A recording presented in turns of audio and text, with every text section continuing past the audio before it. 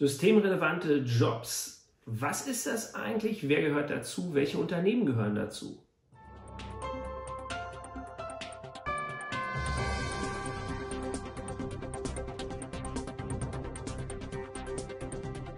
Guten Tag, mein Name ist Alexander Brederek. Ich bin Fachanwalt für Arbeitsrecht und wir sind im Bereich Corona in unserer ständig fortentwickelten Serie. Wir machen zurzeit zwei Videos am Tag die werden nicht immer genau am selben Tag ausgestrahlt, weil wir manchmal ganz aktuelle Entwicklungen vorziehen, aber wir werden alle Themen nach und nach beleuchten, soweit sie juristisch mit dem Thema Corona zusammenhängen. Schwerpunkte wie immer bei mir Arbeitsrecht.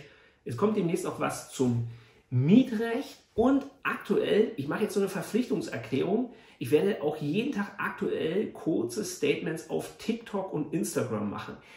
Mein Kollege Yannick Hesse, den kennen Sie ja von unserem äh, Livestream, der ähm, liegt mir da schon lange in den Ohren. Ich sage mal, warum sollen wir das machen, Yannick? Er sagt, naja, weil es alle machen. Ähm, okay, dann müssen wir das auch machen. Und wir können natürlich ein bisschen aktueller äh, äh, reagieren. Ich konnte bloß in den letzten Tagen damit nicht so richtig loslegen, weil wir hier einfach wahnsinnig viel noch zu organisieren hatten im Zusammenhang mit unserer eigenen Umstellung auf Homeoffice die Firewall bei uns war kurz zusammengebrochen, jetzt geht sie wieder und die äh, VPNs mussten eingerichtet werden, neu installiert werden und so weiter. Das hat Auswirkungen auf alle gehabt. Wir hatten zeitweise kein Internet, also es war jetzt wirklich ein hartes Arbeiten die letzten Tage. Aber jetzt werde ich also, deswegen sage ich es nochmal öffentlich, ich werde es jetzt machen und damit verpflichte ich mich quasi vor mir selbst. Ich brauche ja, wie die meisten Leute auch immer, einen gewissen Druck. Früher habe ich immer gesagt, ein Video am Tag, das war ja noch fast gemütlich gegen heute. Jetzt machen wir zwei. So, das zur Vorrede. Jetzt geht es los mit systemrelevanten Jobs. Und da muss man erstmal Folgendes wissen. Im Moment spielt das vor allen Dingen eine Rolle bei der Frage der Kita-Betreuung. In diesen Jobs, in diesen Bereichen ähm, wird eine Notbetreuung eingerichtet und angeboten und das wird im Wesentlichen auch schon laufen. Wir haben ja die von mir schon öfter äh, an dieser Stelle, nicht grundsätzlich wohlgemerkt nochmal, aber an der Stelle hier in Infektionsschutz äh, gescholtene, zersplitterte Struktur, dass sozusagen in den einzelnen Ländern unterschiedliche Regelungen gelten, in den einzelnen Kommunen Sonderregelungen. Das ist, kann ich nach wie vor nur sagen, extrem doof und auch wenn es irgendwelche Vorteile haben sollte, juristisch gesehen hat es keine. Allein schon, Sie merken, dass diese Informationsflut, die auf Sie ein ähm, wirkt jetzt und dann kann man noch immer nichts Genaues sagen. Das ist genau das Problem bei den Fragen systemrelevante Jobs. Jedes Bundesland macht es wieder ein bisschen anders. Ich nehme das Beispiel Rechtsanwälte. Ich habe uns in einzelnen Bereichen entdeckt, woanders dann wieder nicht. Ähm, ich habe, ich will mal so grob nach der, nach der ähm, äh, nach Bundesamt für Sicherheit ähm, in der Informationstechnik BSI-Gesetz, für das gibt es extra ein Gesetz und die haben so eine wie ich ganz äh, finde, ganz sinnvolle Struktur für die kritische Infrastruktur entwickelt. Und daran werden sich meiner Meinung nach vermutlich die meisten Länder anlehnen. Das kann übrigens ganz schnell noch extrem relevant für alle werden. Nicht, dass einer jetzt abschaltet und sagt, ach, das interessiert mich nicht, weil wenn wir jetzt die Ausgangssperren bekommen, in Bayern gibt es die ja schon in einer Kommune, werden die wahrscheinlich auch, was die Ausnahmegenehmigung betrifft, sich irgendwie dort anlehnen. Und da wird es eine Menge Chaos natürlich geben am Anfang. Ja? Deswegen gucken wir uns die mal hier heute im Video kurz an und Sie können selber überlegen, inwieweit Ihr Job vielleicht dazugehört. Ähm, das ist zum einen der gesamte Bereich Energie. Das ist extrem wichtig, weil wir alle wissen, wenn Energie nicht läuft, dann funktioniert ganz, ganz vieles nicht mehr, unter anderem ja auch nicht mehr unser hochgeliebtes, hochgeschätztes und gar in diesen Tagen extrem wichtiges Internet. Ja? Also wenn wir jetzt die Folgen der Globalisierung schmerzlich spüren, muss man, wenn sie die, also die negativen Folgen, muss man, wenn sie die Vorteile nutzen können, sonst wird der Kampf ungleich. Deswegen ist Energie wirklich extrem wichtig, auch noch wegen anderer Dinge. Heizen könnte man sagen, na gut, langsam wird es warm draußen. Ähm, aber jetzt die nächsten Tage kommen ja auch nochmal Frosttemperaturen nachts, also zumindest hier in unserer Region. Das ist Energie, brauchen wir nicht drüber reden. Alles, was Strom, ähm, Heizung und so weiter versorgt, gehört dazu. Entstörungsdienste, Netzdienste, Netzbetreiber, Mitarbeiter, dieser, immer dann die entsprechenden Mitarbeiter dieser Firmen. Diese Jobs sind systemrelevant in jedem Fall. Da wird auch, es auch keine Frage geben. Dasselbe bei Wasser. Ich hatte vor einer Zeit in diesem vor zwei Jahren entwickelten Katastrophenszenario-Plan für damals SARS von der Bundesregierung mir das mal in Ruhe angeguckt, auch mal so zu gucken, was für Einschränkungen drohen denn wirklich, ja, um mich da auch ein bisschen vorzubereiten. Klopapier stand da nicht drin, aber noch eine gute Nachricht, auch Wasser nicht. Also man rechnet in solchen Fällen wie diesen viralen Geschichten hier, ähm, äh, äh, Virus, viral, sagt man da auch viral zu, ich bin schon dermaßen online verseucht. Also jedenfalls, äh, äh wenn es um Virusbekämpfung, Pandemiebekämpfung geht, sagen wir es mal so, ja, dann ähm, ist ähm, äh, Wasser keine Not. Also alle, die sich jetzt äh, irgendwie ähm, mit riesigen Haufen Plastikwasser eingedeckt haben, äh, können auch die Blumen mit gießen oder auch noch aufheben, natürlich, klar. Aber da ist keine Not, deswegen habe ich auch meiner Frau gesagt, ich schleppe die Kästen nicht vergiss es, ja. Also es gibt keine Not, weil selbst, also die haben das immer so für diese einzelnen Szenarien so unterschiedlich äh, strukturiert, wie gefährdet die einzelne Infrastruktur ist und Wasser gar nicht, null. Ja, und andere schon. Auch die Versorgungslage kann kurzzeitig gefährdet sein, tatsächlich, ja. Also wer für eine Woche Knäckebrot eingekauft hat, der hat jetzt nichts falsch gemacht, ja. Aber bei Wasser war keinerlei hm, Zeichen, dass da ein Problem besteht. Also bevor sie jetzt die ganzen Sachen schleppen müssen, liebe Leidensgenossen, zeigen Sie Ihrer Frau diesen Ausschnitt vom Video oder filmen das schnell ab und dann äh, Wasser gibt es kein Problem. Ja, die Quelle äh, liefere ich nochmal nach, weil ich über das Ding generell nochmal berichten werde, äh, nur nicht jetzt in diesem Video. Ähm, dann das Thema äh, Ernährung, Hygiene. Ähm, da ist es so, äh, hatte ich ja eben schon gesagt, da könnten ein bisschen Engpässe phasenweise sein. Haben wir ja jetzt schon durch Hamsterkäufe. Überall wird gesagt, kauft kein Klopapier, Leute. Hamstert nicht das Klopapier. Naja, wer sich rechtzeitig eingedeckt hat, hat jetzt welches, sage ich nur mal. Ich wollte für die Kanzlei jetzt noch mal ein paar Rollen holen. Also äh, momentan gibt es keins. Ja. Ähm, äh, also jedenfalls nicht hier in den Läden, in denen ich war. Ja, und die, Sie wissen jetzt auch wahrscheinlich oder ahnen, dass ich im Moment natürlich auch keine Zeit habe, hier durch die Gegend zu fahren und äh, jetzt nach Klopapier zu suchen. Ja? Aber es gibt ja andere Möglichkeiten, wenn es eng wird. So, ähm, also in Ernährung, Energie, äh, Ernährung, Hygiene, also diese ganzen Sachen, Rossmann und so weiter, die ganzen Lebensmittelketten, Rossmann, Dussmann, äh, nee, nicht Dussmann, äh, Dorsbar, nee, wie heißt der andere? Ja, Sie merken, meine Frau geht da immer hin. Ähm, DM, ja, Rossmann, DM, so, das wird wahrscheinlich alles aufbleiben und auch die Mitarbeiter werden äh, irgendwie weiter hingehen und äh, die gesamten Lebensmittelketten auch. Ja, das brauchen wir. Dann der ganze Bereich Informationstechnik und Telekommunikation. Extrem wichtig, wenn da irgendwas äh, schief läuft, dann wir, wir irgendwie nicht mehr telefonieren können. Natürlich, äh, da entsteht Panik. Ja, da entsteht schnell Panik das heißt, das wird sicher auch alles, was da irgendwie mit zusammenhängt, wird aufrechterhalten. Finanz und äh, Gesundheit natürlich, äh, ganz, ganz klar in dem Fall sicher sehr weit oben. Alles, was irgendwie mit äh, Krankenhaus, Rettungsdienst, Pflege auch, ja, also in der Pflege sind ja Menschen, die selber nicht mehr für sich sorgen können. Ähm, und äh, Medizinprodukte, Apotheken, Labore und so weiter. Das wird alles aufbleiben und mit Sondergenehmigung versehen werden. Dann Finanz- und Wirtschaftswesen, Bargeldversorgung. Also da kann ich nur sagen, ich sage jetzt keine Bank, weil ich hier nicht nachher noch irgendwelchen Ärger kriegen will, aber äh, mein Vater hat gestern bei seiner Bank bei zwei Filialen versucht, äh, Geld zu bekommen. Beide Filialen zu, Automaten kein Geld. Ja. Obwohl da überall auf der Internetseite steht, ja, die werden weiter bedient, die Automaten. Ähm, war das nicht der Fall. Ja, ein bisschen Bargeld zu Hause zu haben, schadet vielleicht nichts. Ähm, dann der ganze, also Wirtschaftswesen, äh, klar, das, äh, ist insbesondere das ganze, der ganze Bereich auch gemeint, also Finanzen, die Banken, Sparkassen und so weiter und Wirtschaftswesen ist auch das Ganze gemeint wie ähm, äh, Agentur für Arbeit und so weiter, Jobcenter, die werden weiter arbeiten. Und dass die jetzt keinen Kundenbetrieb mehr machen, ist ja sehr sinnvoll, aber die werden weiter irgendwie äh, ihre, ihre Dienste aufrechterhalten. Zumindest äh, nach den Plänen. Ne? Wenn denn die Mitarbeiter alle zu Hause bleiben, nicht arbeiten oder so, weiß man natürlich alles nicht. Ja. Dann Medien. Ach, ich bin es immer zu schnell, das ist so klein gedruckt. Ähm, äh, Transport und Verkehr.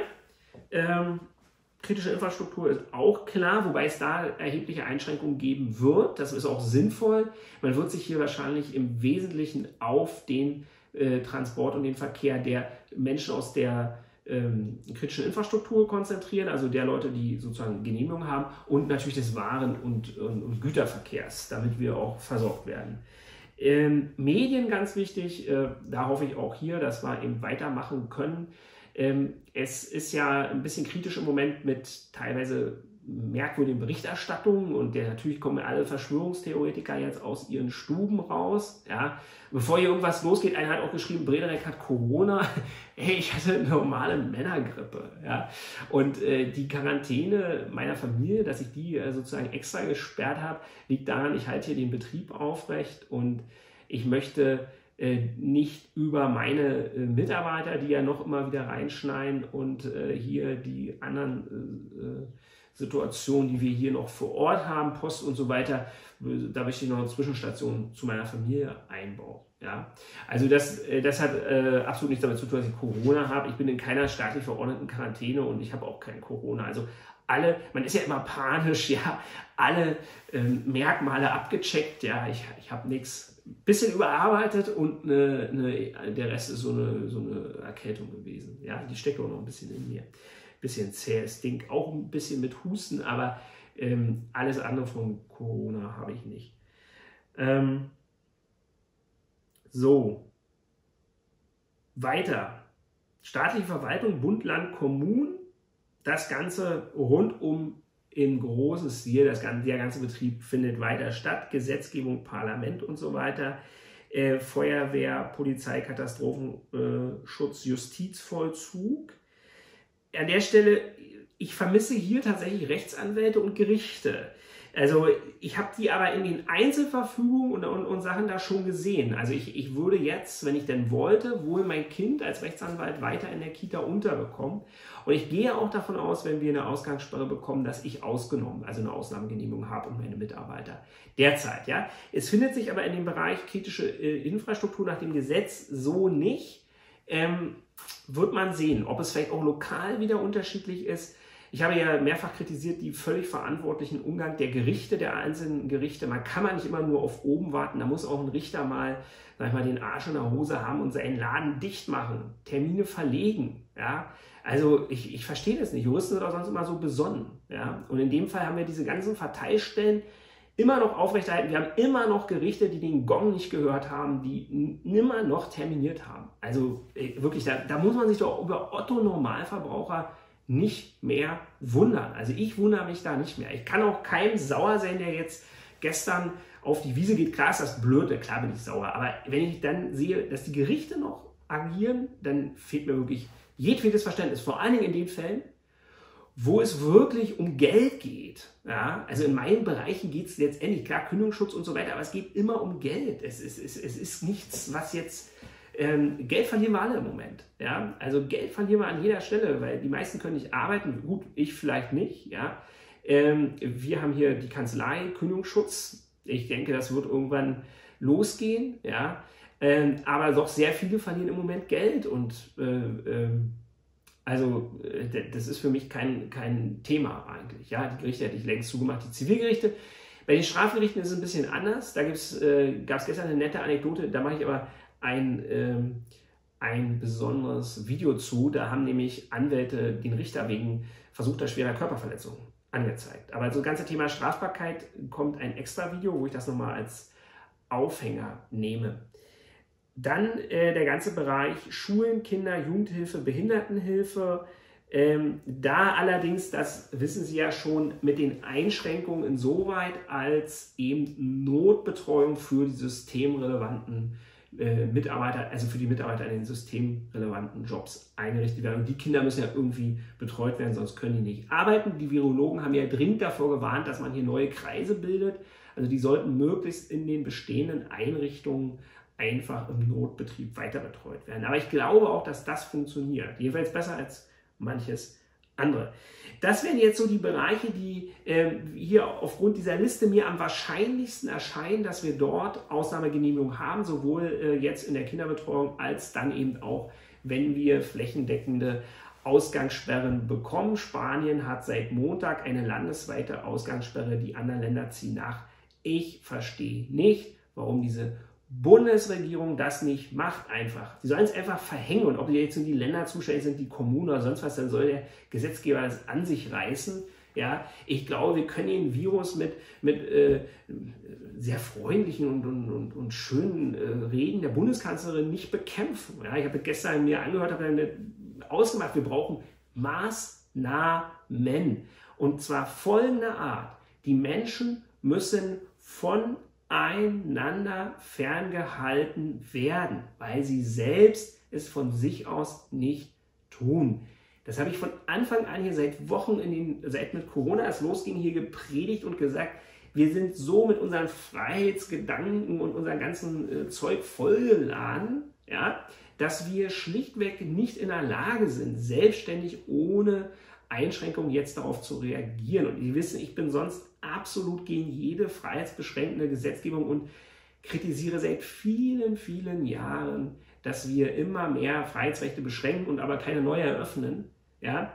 Aber hier an dieser Stelle, da muss die Gemeinheit, die Allgemeinheit, die gemeine Allgemeinheit, muss vor den Einzelnen geschützt werden.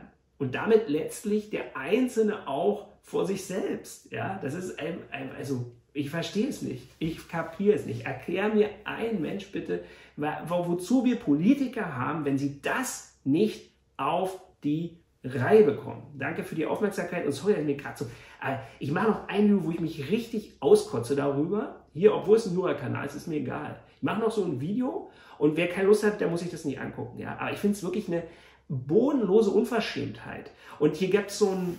Ah, jetzt kann ich gar nicht mehr aufhören. Ja? Aber ich, ich muss jetzt noch erzählen. Ja? Hier gibt es ja, hier kursieren ja Sachen von diesem ähm, äh, von diesem Dr. Wodak, von dem SPD-Abgeordneten, der da aus Griechenland da sein Video macht und erzählt, wie, wie doof die ganzen anderen Virologen sind und dass hoffentlich finden sich pfiffige Rechtsanwälte, die die dann später die Politiker, die das jetzt hier veranstalten, verklagen. Nee, ich es andersrum. Ich es ganz andersrum. Es werden Rechtsanwälte sich finden, die Politiker, die ihre Verantwortung nicht wahrgenommen haben, verklagen werden, beziehungsweise die Bundesrepublik verklagen werden, womit auf uns Schadensersatzansprüche in großer Höhe zukommen werden, weil das, was die Politik macht, erkennbar nicht ausreicht. Es sind Länder überrascht worden, überrumpelt worden. Die wurden kritisiert. Auf China zu sein, zeigen und zu sagen, wie doof die Chinesen alle sind und wie schmutzig und was weiß ich alles und kriegen sie eh nicht im Begriff. Und auf Italien zu zeigen und das marode Gesundheitssystem, das ist die eine Seite. Aber hier ein funktionierendes System einfach nicht los zu einmal nicht den Startknopf zu drücken, ist die andere Sache. Und das ist wirklich verwerflich, in hohem Maße. Wenn wir uns einfach klar machen müssen, diese Schäden, diese Einschränkungen, die kommen doch sowieso. Und je weniger wir jetzt hier durchinfizieren, umso eher könnten wir auch den Normalbetrieb wieder aufnehmen. Ja? Schlichte Mathematik, die noch dazu vorgeführt wird von anderen Ländern. Und deswegen, und, und, und egal ob das stimmt in China, ob die jetzt einfach nicht mehr zählen oder ob die wirklich null Neuinfektionen haben, ist mir wurscht. Wir müssen es probieren und wir können aber nicht umgekehrt die, äh, probieren, ob es vielleicht noch gut geht. Ja, das machen wir jetzt schon seit Wochen. Das ist Blödsinn. So, jetzt aber, ich habe fertig. Schüssikowski. Ach, abonnieren Sie ruhig den Kanal und TikTok gucken wir uns und Instagram mit kurzen Knackchen, nicht so langen Schwafelvideos wie hier. Ciao.